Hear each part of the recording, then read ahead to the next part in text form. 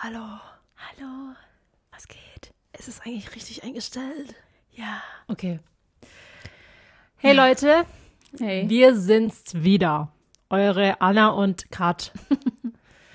Und damit herzlich willkommen zu einer weiteren Folge Nachmittagsjause mit Uncut. Also an unseren Dance Moves müssen wir noch üben. Ja, wir sind schon in Urlaubsstimmung, würde ich sagen. Ja, und zwar wie, Leute? Ich habe Wir sind Echt? urlaubsreif. Wir sind urlaubsreif, Sagt genau. man das so? Ja. Ey, die letzte Woche war so anstrengend. Also wir haben sie echt unterschätzt, dadurch, dass wir die ganze Zeit gereist sind und so weiter. Andererseits hat es schon Spaß gemacht, weil wir haben Ja. so viel erlebt. Also schon anstrengend auf so einem Event. ganz anstrengend. Wir So Party machen und ähm. Freunde treffen. Nee, oh. das ist eigentlich gar nicht anstrengend, nur halt meistens die Anreise, die Hinreise. Und eigentlich war Amsterdam nicht so stressig, weil da haben wir es gemerkt. ja. Die Reise von Karlsruhe nach Berlin. Leute. Leute. Also erstmal, ähm, wir haben uns gedacht, ähm, also wir haben, wir sind ja nicht äh, alleine gereist, sondern wir hatten noch ähm, Paddy, also Paddy ist mit uns gereist, mit Malia, Kat äh, und Lorena, ich, äh, Kaya und dann haben wir noch zwei Nannies dabei Omis. gehabt, Omis. und zwar Mama und Tante Lolly. Ja. Genau. Also eine riesen Reisegruppe. Und wir dachten, ey, was ist das Entspannteste? Wie ist, wie, also wie reist man entspannt mit Kind, haben wir gedacht. Anscheinend dachten wir mit der Bahn. Aber nein. Ja, alle haben gesagt, gedacht. mit der Bahn, weil, ja, mit der Bahn, da steigst du ein, dann bist du halt sechs Stunden unterwegs. Genau. Und alles easy peasy entspannt. Nein, voll Nee. anstrengend. Ey, Leute, Leute, wenn ihr Kinder habt, nicht mit der Bahn fahren, bitte nicht. Ist wirklich so. Also vor allem dann halt nicht, also ihr seid fünf Stunden eingesperrt in einem engen Raum. Das heißt sechs Stunden Beschäftigung. genau. Sechs Stunden, also ich meine, Kaya war jetzt easy, also ich habe jetzt hier eine große Fresse, weil Kaya hat die ganze Zeit geschlafen, aber ein einjähriges Kind zu beschäftigen und ein zweijähriges Kind durchgehend zu beschäftigen, Ja. Ja, Glückwunsch. Und das Ding ist, ähm, ja, ich dachte mir auch voll gechillt, können da Malia und äh, äh, Lori da auf dem Boden krabbeln. Also erstens eigentlich auf diesem Boden wollt ihr kein Kind krabbeln lassen, der ist Alter, widerlich. Danach ekelhaft. waren Loris Klamotten einfach schwarz. Ekelhaft. Ekelhaft eigentlich. Und ähm, das Ding ist, da ist ja Dauerverkehr. Ey, da laufen 10.000 Mal Leute vorbei. Und jedes Mal die Kinder vom Spielen wieder zurück. Und wieder zurück. Und wieder zurück. und es ruckelt. Und es ruckelt und es ist wackelig. Also das war schon stressig. Ja. Dann haben wir den Fehler gemacht, dass wir keine Sitzplatzreservierung gemacht haben. Doch, weil wir hatten Sitzplätze. ja, wir hatten Sitzplätze, aber nicht in, im Familienabteil. Aber wir dachten, wir gehen in den Familienabteil, weil da gibt's ja auch so ein eine Wickel, da ist halt der Wickelplatz Wickelba- in der Nähe. Genau, also wir dachten, ja. Und als wir da angekommen sind, waren da jede mögliche Person außer Familien mit Kindern. Das ist, also ich finde, bei, bei, bei der Bahn, kann ich ja reden. Bei der Bahn ist es ja so, es gibt einen Familienabteil und einen Kleinkindabteil. Das Kleinkindabteil braucht man eigentlich gar nicht mehr, also da braucht man gar nicht einfach reingucken und gucken, ob was frei ist, weil das ist definitiv reserviert. Ich glaube, es ist der beliebteste Platz Im ganzen Zug. Wirklich. Weil Familie, also wenn man Kinder dabei hat und für Familien, die wahrscheinlich öfter mit der Bahn fahren, die wissen schon ganz, also die wissen genau Bescheid. Du musst es auf jeden Fall vorher online buchen, weil sonst kriegst du diesen Abteil nicht. Nee. Und dieses Abteil ist richtig geil, weil da sind so sechs Plätze mit Tisch, alles voll entspannt. Ihr habt Platz, um eu- euer Kinderwagen zu verstauen und dann noch so eine Spielecke, also richtig geil. Und ihr seid abgeschottet vom Rest. Und wenn ihr im Familienbereich seid, also Familienbereich ist einfach quasi ein extra Waggon für Familien. Das ist meistens Waggon 9. Haben wir Aber jetzt festgestellt. Ja, aber das Ding ist, bei diesem Familienwaggon, also ich finde es, ich bin so zwiegespalten mit ähm, alle Kinder in einen Waggon zu stecken. Mhm. Weil Ich denke mir, also es ist zwar gut, dass es dieses Ding Ja. gibt, aber auch ähm, nicht. Irgendein Kind schreit immer. Also man hatte einfach gar Genau. keinen Chill. Und bei fünf Stunden äh, muss ein Kind ja irgendwann mal schlafen. Und wenn das andere Kind nebendran äh, schreit, als würde die Welt untergehen, dann kann das andere Kind äh, auch nicht einschlafen und dann schreit es Ja. mit sogar. Also also anstrengend. Also das war, ihr könnt euch vorstellen, wie die sechs Stunden Fahrt für uns war. Vor allem online oder in der Story sieht es immer so gechillt aus. Ich bin, ja, ich bin dann immer meistens äh, stumm. Ich schwör, man hört nix. Ich bin auf einmal in Kar von Karlsruhe, bin ich auf einmal in Berlin. Genau. Und dann Weil- so zehn graue Haare später. Ich schwör, das ist so stressig, Ey, sechs Stunden ja. lang. Also auf Und- dem Hinweg ging es eigentlich noch. Mit, äh, mit Paddys Kind ging es noch. Da haben sie sich beide halt, ähm, haben sie beide gespielt und so weiter. Aber irgendwann gegen Ende der Fahrt waren, die, waren auch irgendwann mal die Nerven ähm, raus. Die Nerven Blank. Man sagt, die Nerven liegen blank, sagt man, glaube ich. waren die Keine Nerven Ahnung. raus. ähm, und äh, den Fehler, den wir halt auf dem, auf dem Hinweg halt gemacht haben, war halt, dass wir keine Sitzplatzreservierung hatten, beziehungsweise wir hatten eine, aber die war halt so am letzten Ende und nicht im Familienwaggon. Und ähm, genau. Aber wir waren nicht die einzigen ohne Sitzplatzreservierung Weil- im Familienbereich. Ich denke mir halt so, also da bin ich manchmal dann Allmann, weil ich mir denke, du bist hier an einem extra Abteil für Familien. Wenn du Warum- kein Kind hast, raus. Wa- Was machst du hier, wenn du kein Kind hast? So, Warum tust du dir das freiwillig an? echt so, renn. Aber es gibt da so viele Leute, die setzen sich halt random auf Plätze, wo halt keine äh, Reservierung Ja. steht. Verstehe ich ja auch. Man will ja auch nicht sechs Stunden stehen, verstehe ich. Man geht dann an, zum nächstfreien Platz. Aber wenn du keine Kinder hast, ich denke mir, bitte lass doch die Mütter sitzen. Lass Genau. doch die Leute vor, die ähm, halt ein Kind haben, weil obviously Ja. ist es ein Familienbereich. Und vor allem, wenn man dann fragt, so, Entschuldigung, ist hier noch ein Platz frei? Und man ist so mit seinem Kind so im Arm, so. Ich, ich bin stillend durch den Waggon gelaufen. Genau. Also, Das ist so, wir, also wirklich gefühlt fünf Stunden standen wir einfach nur mit den Kindern in den Armen. Ihr Assis. Da draußen. Das geht. Appell an alle, die diese Sitzplätze blockieren. Ja, Assis. Ja. Unter anderem gehört übrigens Janik dazu.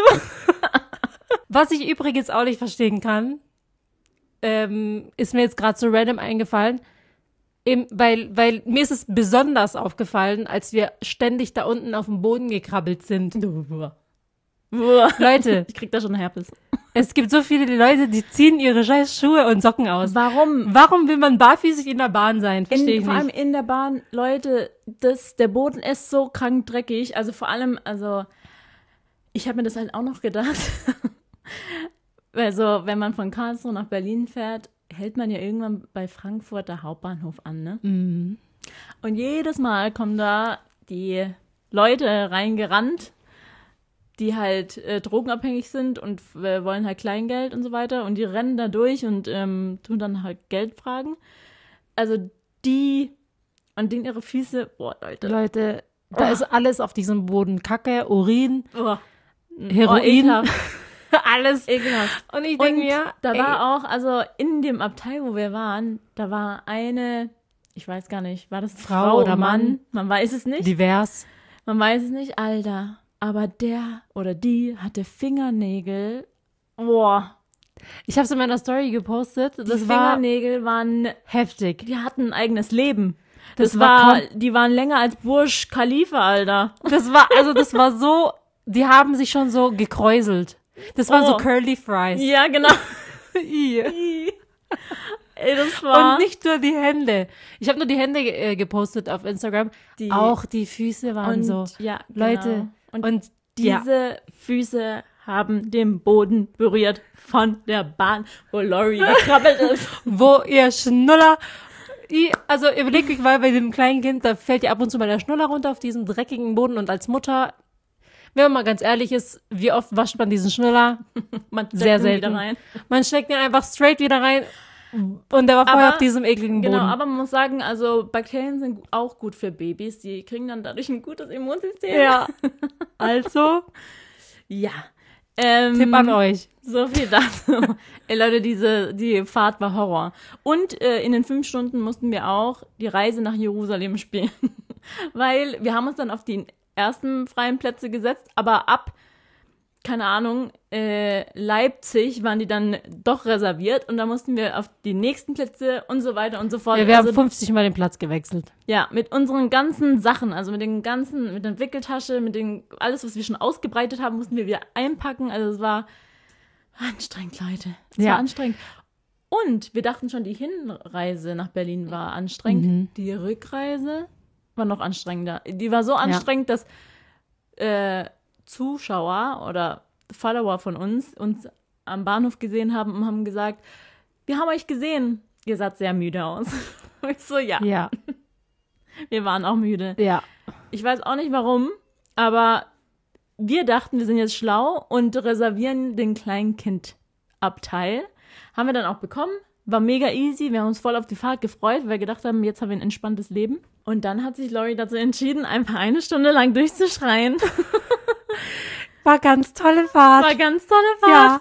Eine Stunde, aber wie? Also sie hat durchgeschrien des Todes. Also die Leute haben Und wir sich dachten- gedacht, so die vorbeilaufen vom Abteil, so was machen die mit dem Kind? Vor allem, wir, wir dachten in diesem Kleinkindbereich, es kriegt bestimmt keiner mit Nee. da draußen. Ja, voll gut, dass wir im Nee. Kleinkindbereich sind, weil das kriegt keiner mit. Und dann standen wir mal draußen und haben eigentlich jedes Flüstern gehört. Ich dachte mir so, okay, alle in diesem Zugabteil wissen ganz genau, was da drin abging. Übel. Und ich bin dann so mit Laurie, wenn sie, als sie sich dann beruhigt hat, so rausgegangen, so, es ist nichts passiert. Alles gut. Alles gut. Ja, das sind so alltägliche Struggles einer Mutter. Genau. Haben wir Ja. auch mal darüber geredet. ähm, Aber generell Reisen mit ähm, Kinder, also da kriegen wir ja voll viele Fragen von euch, wie wir das, also wie wir das machen, ob, wie, wie, wir das so handeln, das sieht so entspannt ob aus. wir uns das überhaupt trauen. also ich muss sagen, also wir haben jetzt gemerkt, Fliegen ist einfach für uns das Beste, was wir machen können. ja, Und alle die draußen, die uns jetzt haten, Leute, fliegen also mit, mit Kind fliegen ist echt ist entspannt. entspannt, weil das Ding ist, ihr geht hin, ihr checkt alles ein, ihr habt die Koffer erstmal los und ihr wisst, am Ende kommt ihr an und ihr habt die Koffer wieder. Erstens das, ihr müsst euch nicht ähm, darum kümmern, dass die verstaut werden oder ihr habt einen festen Sitzplatz. ihr habt festen Sitzplatz. Und also bei Lori und ich glaube bei allen Kindern ist es jetzt so, ist es bei Also uns bei so, uns, ja. dieses Rauschen im Flugzeug, das ist für die wie so eine Droge. Die werden dann irgendwie so richtig high und äh, pennen dann ein. Und schlafen den Und ganzen schlafen den ganzen Flug. Flug. Perfekt. Perfekt. Ja. Ey, also wirklich mit äh, Lori hatte ich bisher nur entspannte Fliegen, Ja, äh. Flugzeugerfahrungen. Ja. Ja. weil sie hat entweder gesch äh, geschrien, Sind wir geschrien oder geschlafen? Eins von beidem. ja. sie hat entweder nur geschlafen oder sie war halt dann einfach wach, aber sie fand es auch toll. Ja. Weil- Also, ja, für uns ist echt Fliegen so das, also bisher das Entspannteste gewesen. Morgen, nee, übermorgen wird's spannend, weil da fahren wir diesmal in den das Urlaub. ist eine neue Erfahrung jetzt. New Experiences. ähm, wir nehmen jede Herausforderung an. Ja. Sechs Stunden Fahrt und zwar ähm, fahren wir den Urlaub in den Gardasee. Mhm. Und wir dachten, wir sind jetzt, wir, also immer wenn wir denken, wir sind schlau, ist es meistens die falsche Entscheidung, aber äh, wir fahren um zwei Uhr morgens los. Weil wir dachten, Ja. da schlafen die Kinder bestimmt durch. Ja.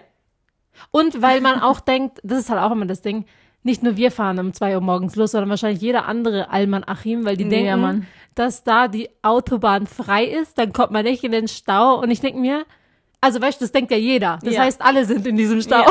Ich denke es bringt gar nichts, früher loszufahren, weil alle das Gleiche denken. Ja, das Ding ist halt, wenn wir um zwei Uhr morgens losfahren, also spätestens dann halt um sechs, sieben landen wir dann halt in irgendeinem äh, Berufsverkehr. Ja, genau. Also Ja, aber wahrscheinlich sind wir da schon fast da. fast da. Hoffentlich, wenn alles Ich gut mein, läuft. es ist uns die sowieso-. Ich find's eh krass. Also bis zur deutschen Grenze ist es mega geil. Du fährst durch, Autobahn, straight, richtig entspannt.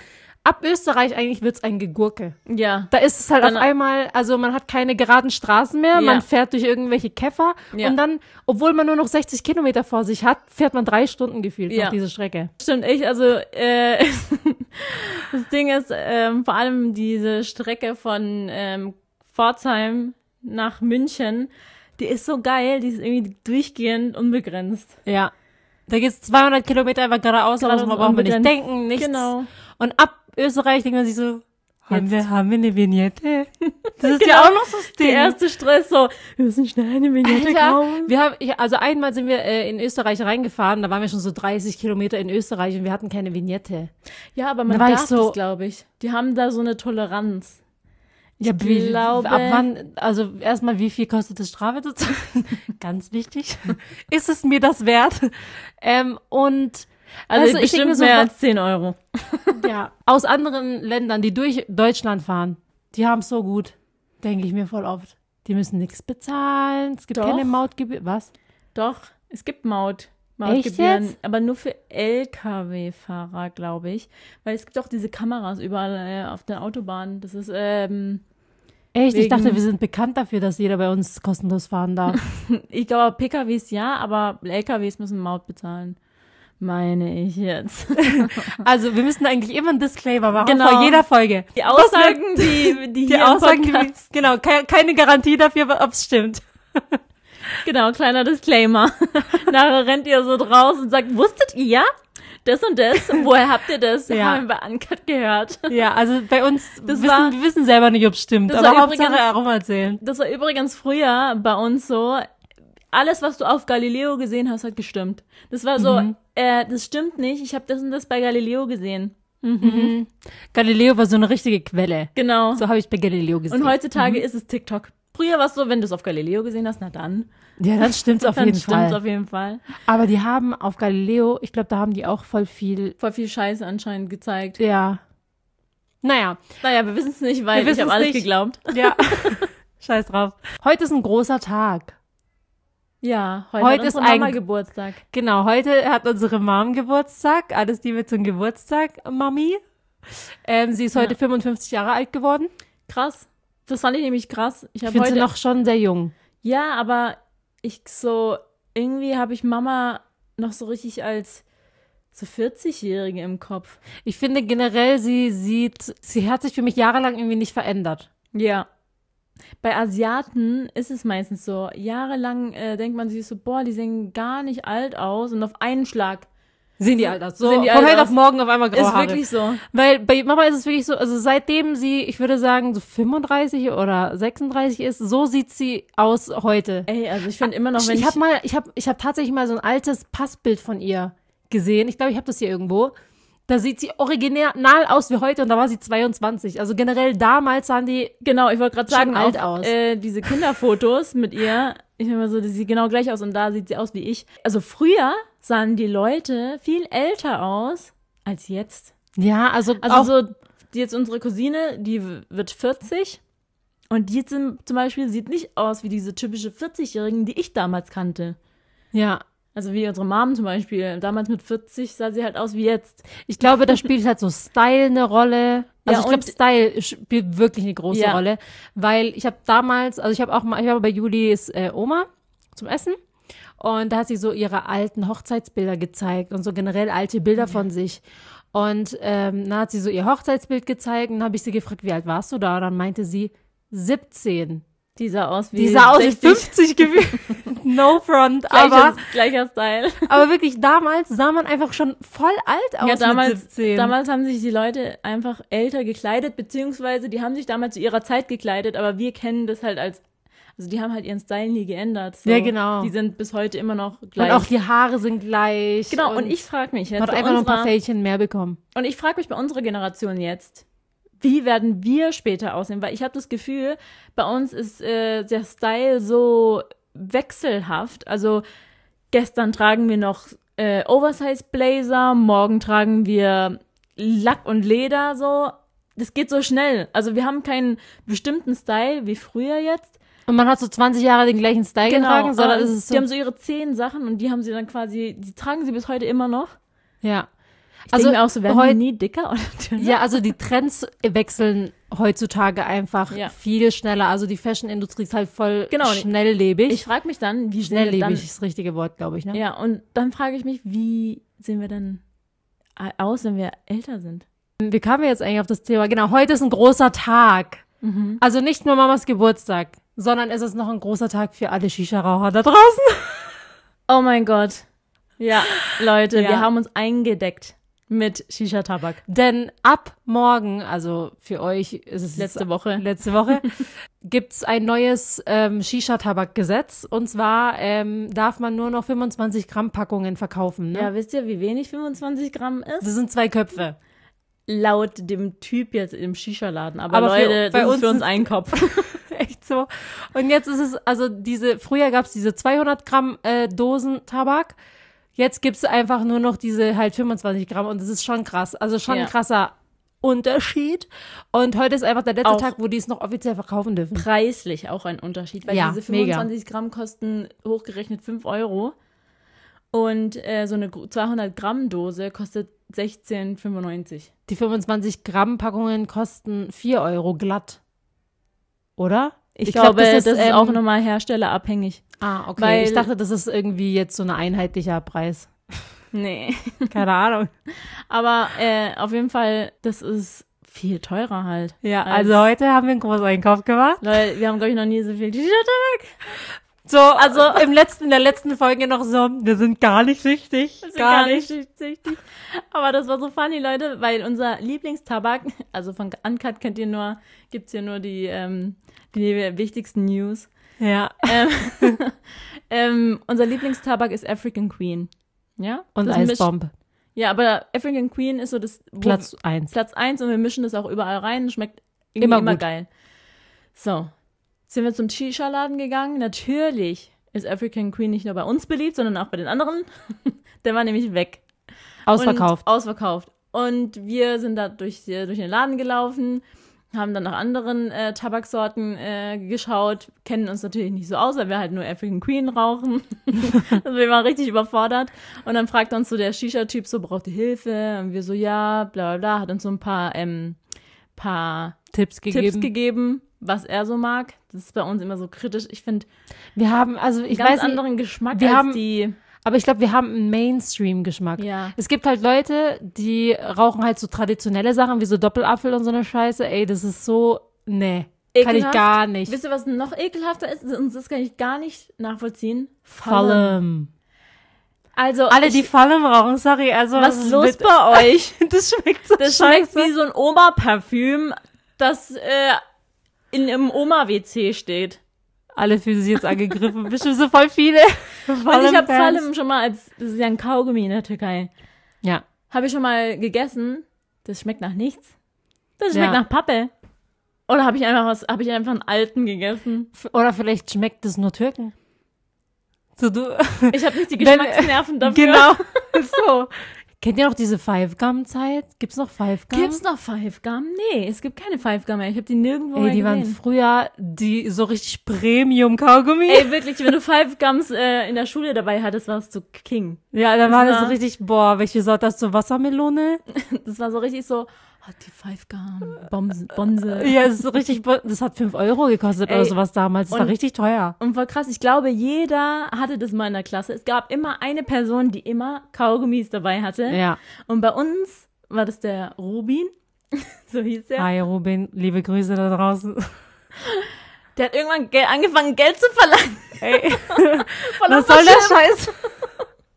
Ey, der hat irgendwann angefangen, so, nee, 20 Cent. Und dann dachte man sich so. Ich meine, man kann es schon nachvollziehen, ganz ehrlich, wenn du jedes Mal Kaugummis vor allem, ausgibst, das ist echt schlimm. das geht schon an so, den Geldbeutel. Sobald du mit der Packung klimperst, gucken alle. Dann und auf einmal bist du beliebt. So machst du dich beliebt. Also Kaugummi dabei haben, dann bist du schon beliebt. Auf jeden Fall haben wir dann gesagt, so, ja, ich glaube, das war's. Wir hatten dann so zehn Packungen so auf dem Tisch.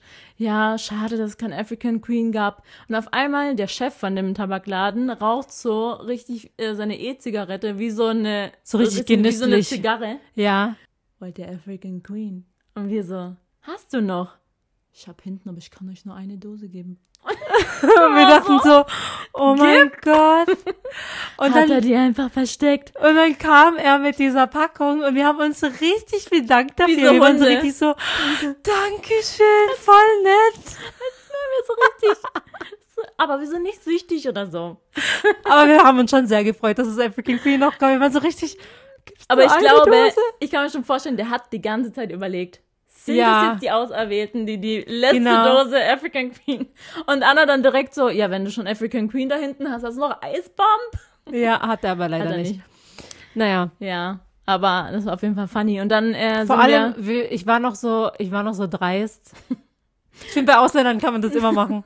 ähm, wir haben da so voll viele Dosen gehabt und ich hab, war noch so dreist und habe gefragt, kriegen wir Mengenrabatt? das war so ein richtiger Alman-Achim-Spruch. ja, echt so. Ähm, gibt's noch Mengenrabatt? so hast du es gesagt. ja, aber ähm, nee. Nee, gab's nicht. Also, Dachtest du, Alter, sei, sei dankbar, sei, du sei mal letzte- froh, dass du was bekommst, ey. Liebe. Ja.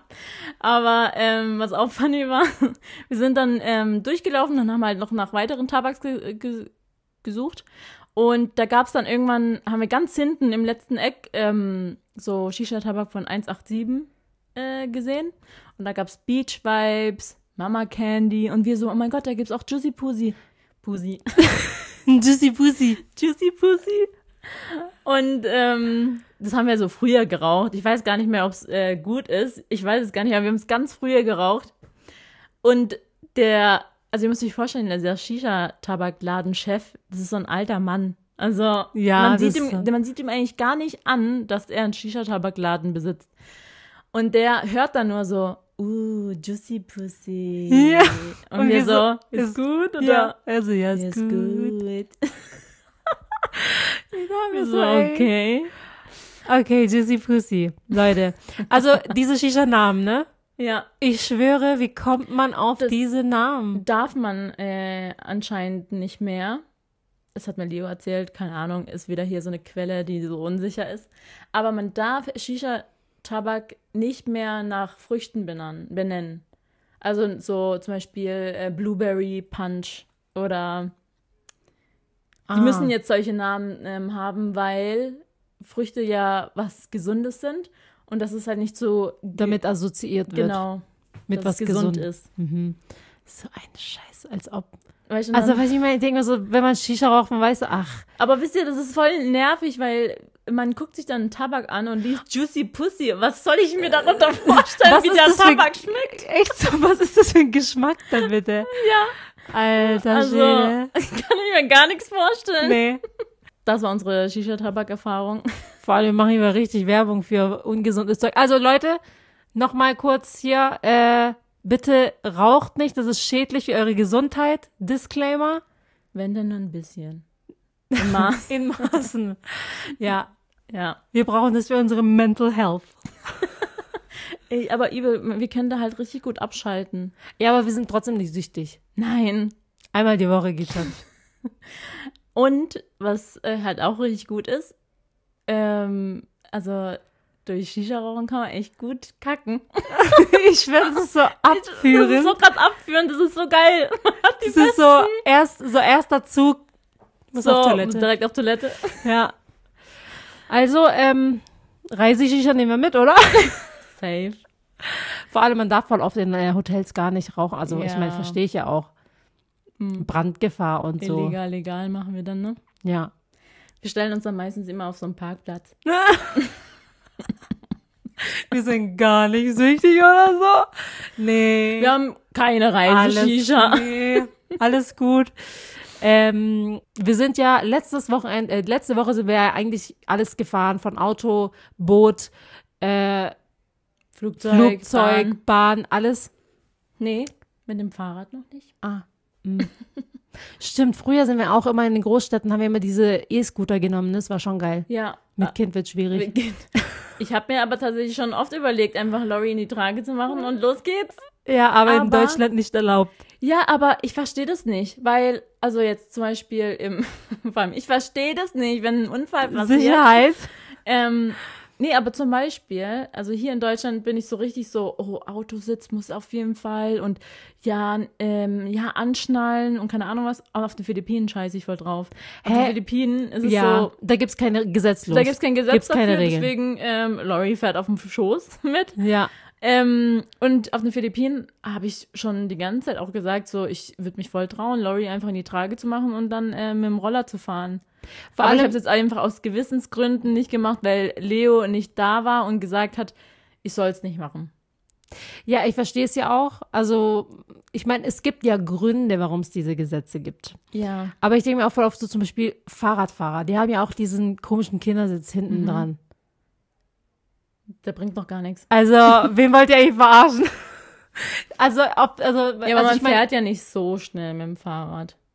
Außer du hast ein E-Bike. Ja, Obwohl, also Fahrradfahrer, die rasen, ey. ja, ich Die denken, schwör, wir sind als die in Amsterdam König waren- der, der Straßen, Alter. Ja, in Amsterdam, also Amsterdam ist ja eigentlich voll die krasse Fahrradstadt. Und die Schei also die- hier in, in, in Deutschland ist es wirklich so, Fußgänger haben Vorrang, dort Fahrradfahrer. Dort Fahrradfahrer denken sich so, ihr läuft Abschaum. Ja, echt so. Ich überfahre euch jetzt. Ey, die halten einfach nicht an, man hat richtig Schiss vor denen. Ja, wenn du auf der Fahrradstraße läufst, geht gar nicht. Ja, nee, aber die fahren ja überall. Also Ja. egal ob Fahrradstraße oder nicht. Ja. Also, Boah, kennt ihr diese Fahrradfahrer, die so richtig auf ihr Recht bestehen, wenn, wenn man auf der Fahrradstraße läuft, jetzt auch in Deutschland? Alter, da halten die einen an und meckern einen so richtig an. ja. Äh, Fahrradstraße. Ja, in Fuß- Berlin, in Berlin ist Fußgänger- es auch Alter. krass so. Ich denke mir so, okay, chill mal. Also ich verstehe es schon, weil ich muss sagen, in Deutschland generell, ähm, also gerade in vielen Städten, also jetzt auch bei uns, ähm, Fahrradstraßen sind nicht so gut ausgebaut. Weil voll Ja. oft sind Fahrradstraßen so, also Die fangen an und die fangen an und hören einfach random auf. Und man denkt sich als Fahrradfahrer, gut, wo jetzt? Stell dir vor, eine, eine Autostraße hört einfach random auf. Ja. Und ja, also, weiß ich, ich meine, das ist so, ja. Aber theoretisch können Fahrradfahrer auf dem Gehweg fahren. Ja. Ja, ja. Das denke ich mir auch als Autofahrer. Fahr Oder halt einfach auf der Straße Geh- einfach. Ja, aber ich denke mir voll oft so, da ist ein Gehweg. Fahr doch einfach einen Gehweg und Ich nicht auf der. Straße. Ja. Eben jedes Mal, wenn ich ins Flugzeug steige, denke ich, also es gibt ja voll oft diese, also ich meine, klar, diese Anschnellregel, okay, verstehe ich, weil wenn es mal ruckelt oder sowas, dann, dann ist man fest am Sitz. Aber Fensterblenden, warum muss Sinn. man die runter machen? Warum? Wenn- Damit man die Aussicht sieht Oder- oder, so, wenn, wenn, wenn man abstürzt. Ja, ich denke so, oder diese Tische. Warum muss man die zuklappen? Ja gut, die verstehe ich, weil die können ja dann so, die können ja dann hochklappen und dann, und dann äh, quetschen die irgendwelche Finger ein oder so. Weil wenn es so arg ruckelt. Ja, Auch diese Armlehnen verstehe ich auch. Die können auch irgendwie nach vorne fallen und äh, auf einmal irgendjemandem wehtun. Aber die Fensterblenden verstehe ich nicht. die Fensterblenden. Vor allem, wenn die zu sind, dann passiert gar nichts. Ja, weil oft ist es so, man will es halt zumachen und man denkt sich, so, wir hatten dieses Thema, glaube ich, schon mal, oder? Ich habe irgendwie gerade so ein Déjà-vu. Nee, wir hatten das noch nicht. Aber, Nicht. weißt du, Weil, guck mal, warte kurz, ich Ja. hatte einen Struggle, als ich äh, im Flugzeug saß und ich hatte nämlich den Fensterplatz Mhm. mit Kaya. Die Sonne, die hat richtig krass reingeschienen Mhm. durch dieses Fenster. Hat natürlich Kaya gestört, war viel zu heiß und hat sie geblendet. Mhm. Ich mach diese Blende zu und die Stewardess kam sofort. Ähm, bitte die Fensterblenden hoch. Und ich denke mir, ja, es blendet halt. Sorry, die sind dafür da, das ist halt, also um Ja. abzublenden. Und äh, dann meinte sie so, ja, bitte nach der, äh, erst nach der Land, äh, nee, erst, erst nach dem Start ähm, kann, kann ich es runter machen. Ich denke mir so, warum? Was ist denn der Sinn, wenn ich doch jetzt einfach die Fensterblenden zumachen will, weil es mich gerade jetzt stört? Warum, warum Ja. ist in der Luft dann in Ordnung? Warum? Ich finde generell vieles, was das Thema Fliegen betrifft, macht irgendwie gar keinen Sinn. Und zwar ähm, habe ich auch so einen Jojo-Kinderwagen von Baby Zen. Und der ist dafür, der ist so konzipiert, also der ist eigentlich bei allen Fluggesellschaften anerkannt und den kann man mit an Bord nehmen. Aber, es gibt ein Aber. Man darf den nicht einfach so an Bord nehmen, sondern man muss ihn in eine Tasche packen. Verstehe ich nicht. warum? Warum Als ob man immer diese Tasche dabei hat. Ja, weil, also, voll dumm eigentlich, weil dieser Kinderwagen kommt tatsächlich mit einer Tasche und ich dachte mir so voll unnötig. Ähm, Ja. jetzt habe ich den äh, Sinn dazu äh, erst verstanden.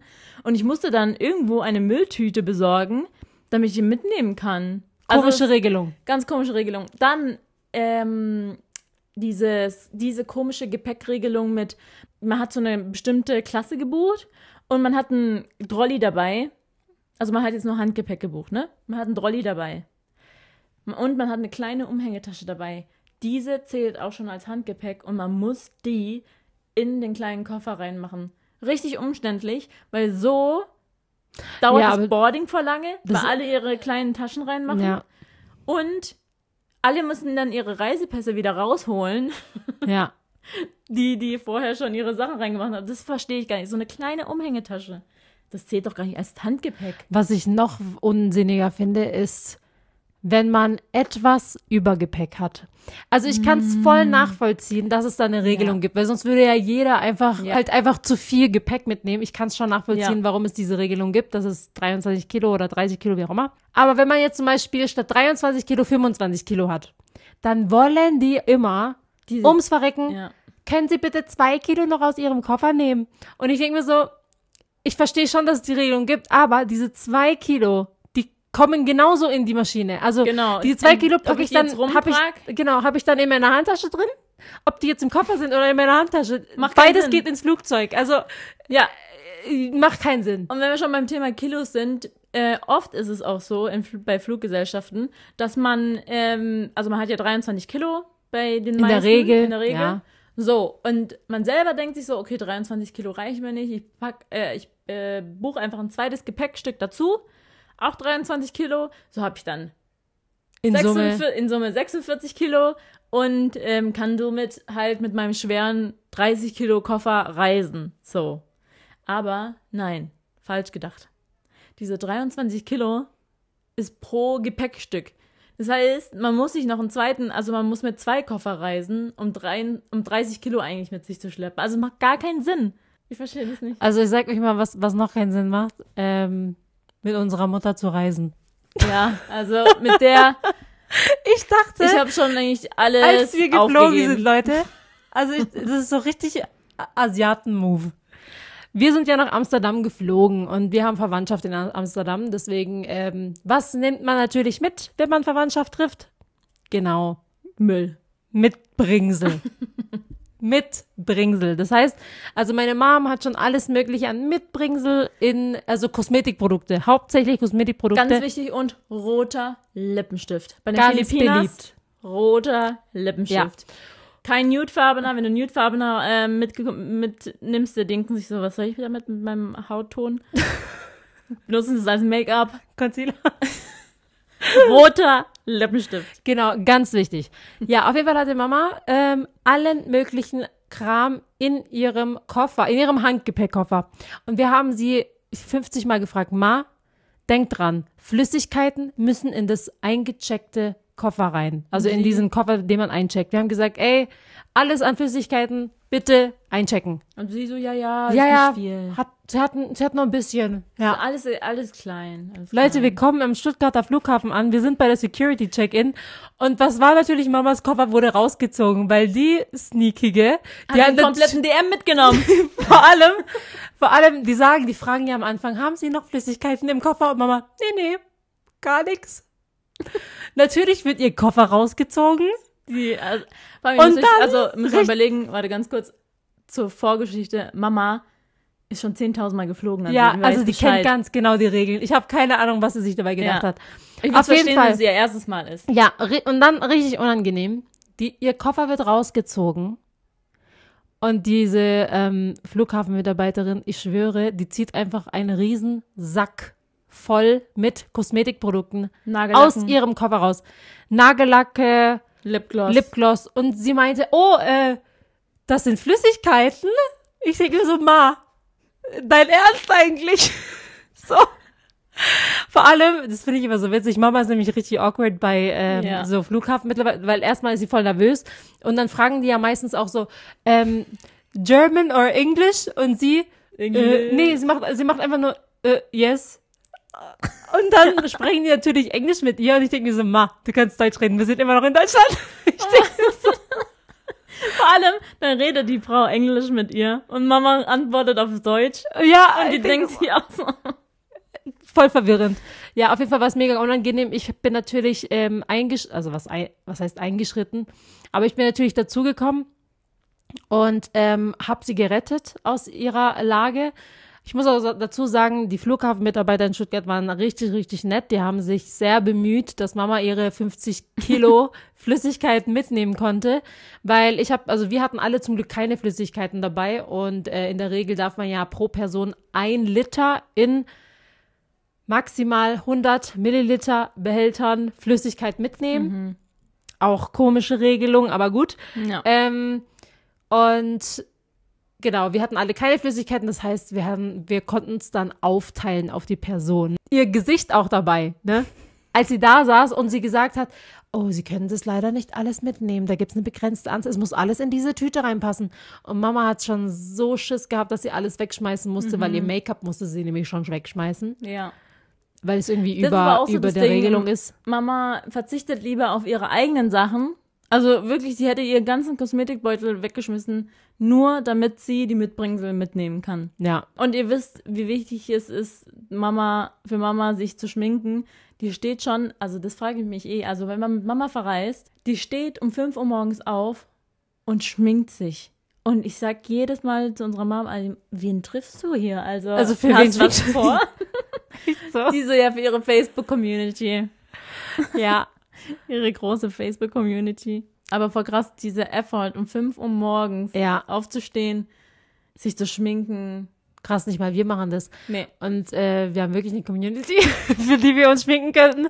Aber ich bin voll oft einfach, ey, manchmal. Ey, und ich guck mich, und manchmal erschrecke ich mich im, im Spiegel, weil ich mir denke, Alter, ich habe mich so die ganze Zeit in meiner Story gezeigt. Ich Ja. sehe richtig fertig aus. Ja, ja, ich auch. Oder ich gehe raus und denke mir so, boah, ich sehe aus wie der Tod. ja echt so. Augenringe des Todes. Ey. Ja. Oder hab so äh, Tomatenfleck auf meiner Bluse, habe ich nämlich auch gerade. Ja. Aber scheiß drauf. Mom Life. Ich denke Nee, mir so Spaß. für wen, ganz ehrlich. Ja, für deine Community, hallo? Für eine Million Menschen da draußen. Ja, aber die sehen mich doch schon so, also ist egal. Ja, das stimmt auch wieder. Das war's. Tschüss. Aus, das war's aus unserem Leben. Wir berichten dann, wie unser Urlaub war, weil der nächste Podcast wird nach unserem Urlaub sein. Genau. Also an alle da draußen, die auch in den Urlaub fahren, wir wünschen euch schönen Urlaub. Ähm, genießt die Zeit und erholt euch. Wir versuchen es auch, oder? Zu, uns zu er erholen. Ja, warum kam das oder? Weiß ich nicht. Nachher machen wir Ja. irgendwas Arbeitsmäßiges. Nee, doch, wir Aber- versuchen schon zu chillen. Ich meine chillen, also wir werden immer noch jeden Tag Stories machen. Ja, echt so. Aber ähm, ja, wir werden auf jeden Fall versuchen, einen Gang runterzuschalten. Das ist auch ein, Famili ein großer Familienurlaub Ja. tatsächlich, weil es kommen, also nicht nur wir gehen zusammen in den Urlaub, sondern Mama ist dabei und, Judis unsere- Eltern sind dabei. Unsere Großcousine ist dabei und Ju- Julis Eltern, die Eltern sind dabei. Ja, also wirklich ein Riesenurlaub. Also Deswegen, wir sind eigentlich nur mit alten Leuten unterwegs. echt so, ich dachte mir, sowas haben wir uns dabei gedacht, aber gut. Ich meine, man kann ja trotzdem sein Das ist so ein. Rentnertrip. Echt so. Aber das Gute ist, Aber mit ist, Shisha. ja, aber das Gute ist, wenn man mit Großeltern äh, unterwegs ist, man hat immer einen Babysitter. Ja, Sehr gut. das Immer ist eine schon gute entspannt. Entscheidung. Ja. Ja, Ja. okay, das war's mit der dieser Podcast-Folge. Ich hoffe, es hat euch gefallen. Wenn ja, dann äh, abonniert diesen Podcast. ja. Ja, folgt diesem Podcast. Und ansonsten, Ciao. tschüss. Kakao.